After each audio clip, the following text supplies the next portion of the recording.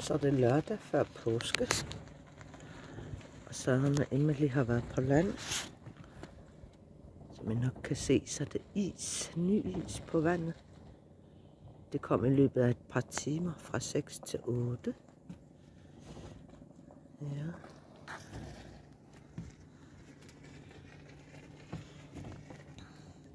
Åh, oh, solen.